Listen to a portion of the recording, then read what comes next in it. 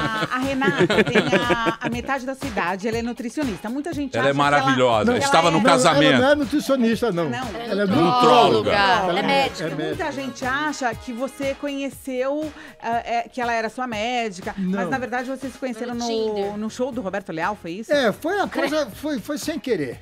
Foi uma coisa assim que tinha que acontecer. Eu ia, no- eu, eu fui convidado para ir no show do Roberto Leal. Era 40 anos de carreira dele e eu pedi pro Marcelo, meu filho, comigo. Aí no dia, eu liguei pro Marcelo, sério, tô saindo para te pegar. Disse, ah, pai, tremenda fria, pô, tá um frio desgraçado. Vai nessa sozinho. E eu fui sozinho. Avulso, né? Fui, fui sozinho. Quando eu cheguei, tinha uma mesa para mim, com mais uns dois convidados, com a Lu Barbosa, vocês devem se lembrar Sim. dela. Alô, querida, beijo, Lu. É, com a Pam e mais um. ah, tinha mais três pessoas. E tinha duas cadeiras sobrando. A Lu falou, Casalberto, você se incomoda que, que eu trago uma amiga aqui para a mesa? Eu falei, não, claro que não. Aí eu vejo sair daquela escuridão lá do fundinho. Eu vejo a Renata com um garotão do lado. Eu falei, ih, essa aí gosta de garoto, né? Você tá laricou. Ficou fora, né?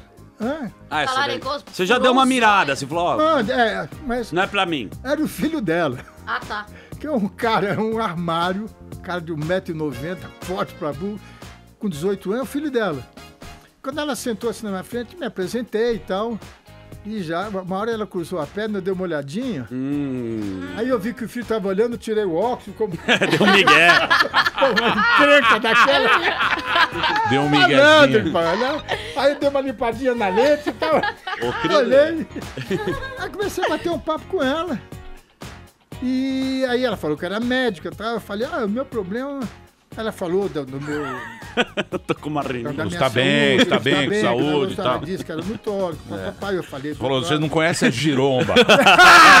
o rocambole do vovô. É, O rocambole do vovô você não sabia. É, claro. Lógico. Paulinha, Paulinha, como o Carlos Alberto de a galinha, falar uma coisa a galinha, É, a galinha, além de botar o ovo, ela precisa anunciar que bota ovo. Não, A claro. a pata precisa, bota Emílio. ovo também. Claro, ninguém come ninguém come. na É, claro, claro, é isso aí. Aí eu disse, olha, meu problema é dormir, eu durmo mal. Ele, ah, então eu vou te dar um remédio bom. E ficou de me entregar esse remédio. É um remédio que não tem aqui no, no Brasil. é. Você é um gênio, o cara chaveca com Melatonina. remédio. Então, Você, Melatonina. compra, você Claro. compra Dá fora um é Silrox. Não, eu trago pra você, eu pego lá, do- eu mando vir pro, pro hospital. Eu falei, tá bom.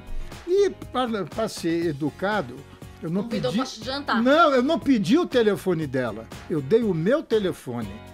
Que seria deselegante. Ah, me dá teu telefone, que, que dá, dá a impressão que eu tô, né? Claro. Mas eu tava cheio Mas de você maldade. tava. cheio de maldade.